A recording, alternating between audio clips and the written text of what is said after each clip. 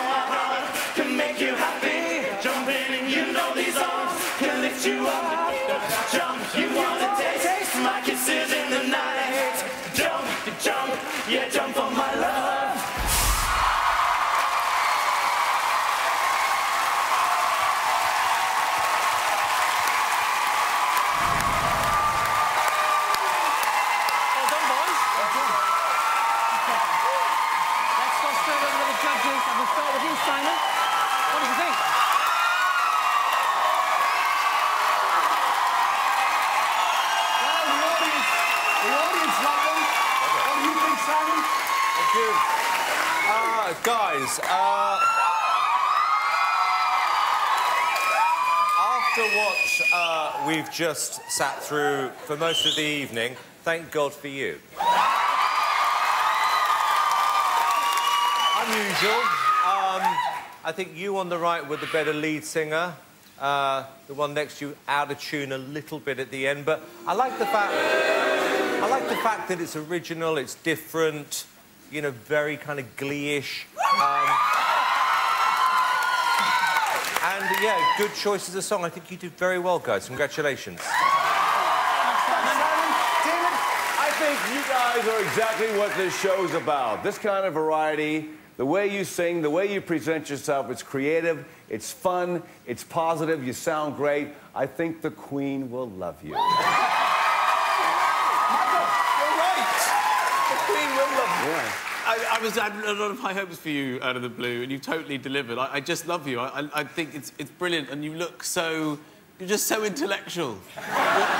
Because every single one of you, you know, you've just you've got plans, you're working out the possibilities, the equation, the percentage chance of you winning this competition. um, um, and look, Simon loved you've changed this mood because for a while we had a fly and a wasp sitting over there. Um, but it's all good now, thanks to you. Thank you so much.